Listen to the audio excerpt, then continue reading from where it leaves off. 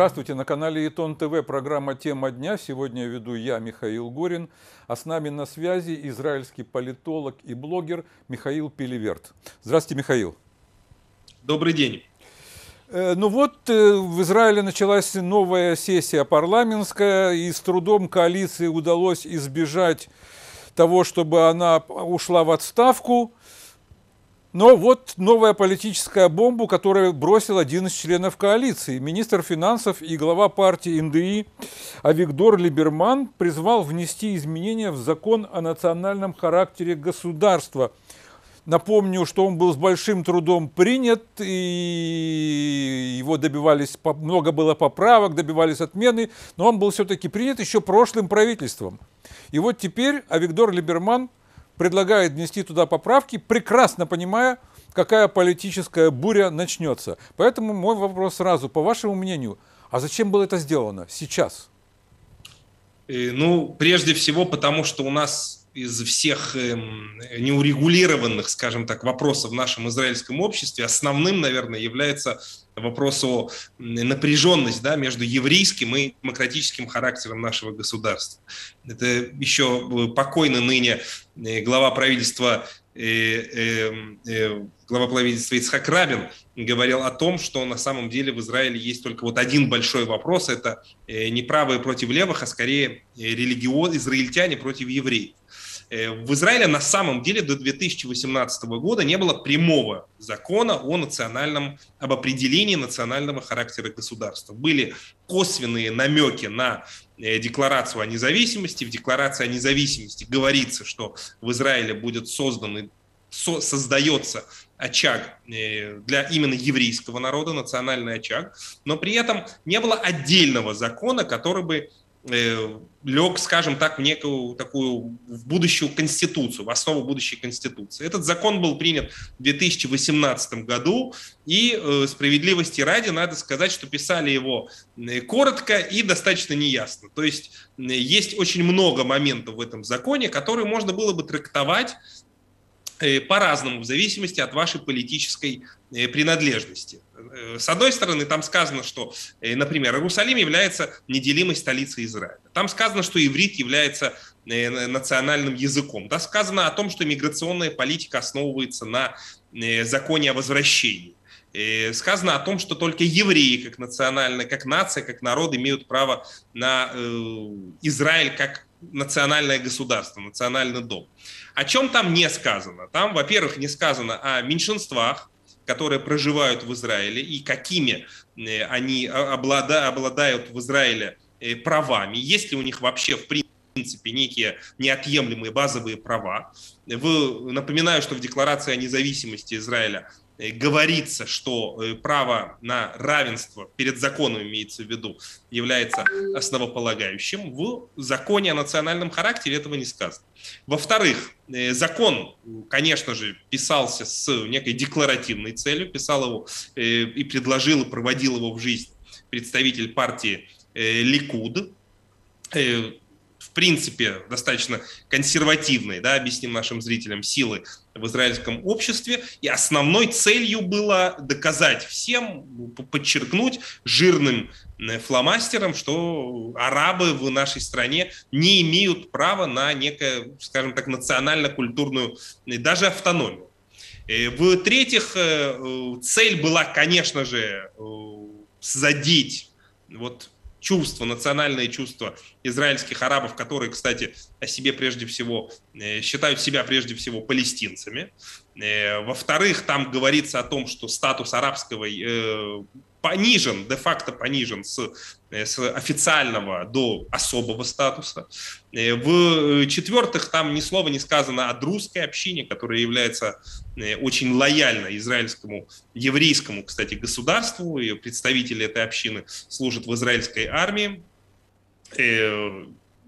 служат очень часто, кстати, геройски, и многие представители этой общины тоже посчитали, что это несправедливо, Э, по отношению к ним. Э, интересно, что этот закон ведь на самом деле носит достаточно светский характер. То есть там говорится, очень часто используется слово еврейский народ, но нет прямой ссылки, прямого объяснения на то, а кто, а что же это такое еврейский народ, Э, будем ли мы считать евреями только галахических евреев, не галахических и так далее. Это вечный, один из вечных наших проклятых вопросов израильского общества. Поэтому здесь э, он был, вот, э, его писали по закону, который сформулировал, сформулировал еще Наполеон, когда посоветовал писать конституцию французскую коротко и неясно. В этом законе, соответственно, есть очень много чего, что может быть использовано нашим Э, судом справедливости, богатцем, э, который может э, ухватиться за то или иное слово, трактовать достаточно широко, что такое равенство, какие базовые права должны быть закреплены в этом законе, насколько этот закон является частью будущей израильской конституции, надо ли его писать именно так подытожив, я бы сказал, что это проявление, а, в принципе, достаточно распространенного израильского э, правила, что мы вот, это некая такая заплатка, это не закон, э, который видит лес позади деревьев, а это исключительно ситуативное э, некое политическое действие, которое на тот момент было очень выгодно тем людям, которые его инициировали. Которые его принимали. Действительно, у этого закона э, он вызывает много вопросов, скажем так. Э, есть а, кстати, пол... Михаил, извините, извините, но я не ответил на ваш вопрос, зачем это сегодня. Так вот я, собственно говоря, к этому и веду, я вас подвожу теперь к этому вопросу. Он действительно вызывает много, вопрос, э, много, проблем, много вопросов и тем для обсуждения. Но как э, коллеги Виктора Либермана по коалиции, так и противники в оппозиции задаются вопросом, этот закон, его пересмотр не был записан в коалиционных соглашениях. Пересмотреть его крайне трудно сейчас. Было понятно, что он вызовет очень сильное раздражение. И это в ситуации, когда коалиция и оппозиция у них э, то-то, ничья. Э, и вот теперь возвращаемся к вопросу, почему сейчас? Ведь все эти вопросы, которые перечислил, дают э, повод заподозрить Виктора Либермана, что он просто хочет разрушить коалицию в израильском, в израильской политике, кстати, не только в израильской политике, э, арифметика это очень важно. То есть очень важно, сколькими голосами в парламенте, каким большинством вы обладаете, но есть некие э, еще вопросы динамики. Вот та динамика, которая в последние недели создалась в израильской политике, она, конечно же, для коалиции отрицательна. Есть, э, витает в воздухе некое предвкушение, ощущение, что выборы состоятся в ближайшем будущем, и каждому политику необходимо за собой да, вот, э, оставить некую свою поляну.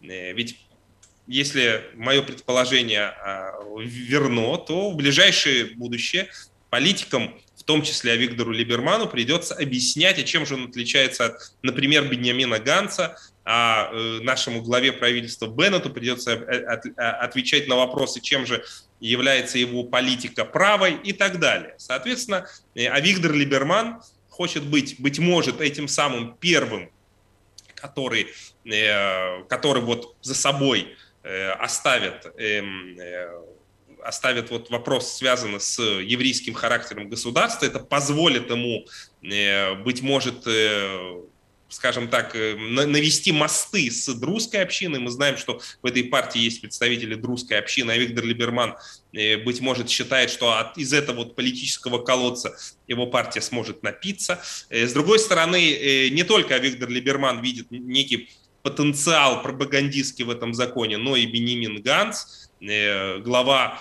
партии Кахоль Лаван, министр обороны, он на днях тоже заявил, что будет настаивать на том, чтобы Э, вопрос о параграф о равенстве был э, выведен как отдельно, быть может, закон или как поправка к существующему закону о национальном э, характере государства. Мое достаточно забавное, но при этом это не означает, что это не так. Предположение состоит в том, что наши законы политики изначально пиш, пишут такими ущербными, чтобы на более на втором этапе, на более позднем этапе у них была возможность самим себя их пересмотреть.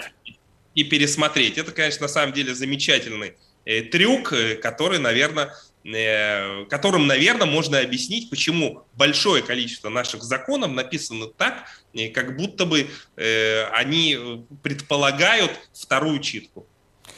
Скорее всего. Михаил, большое спасибо, что нашли для нас время за ваш комментарий. Всего вам доброго. Спасибо. Всего доброго. На этом все. Напомню, что с нами на связи был израильский политолог и блогер Михаил Пеливерт. Всего доброго.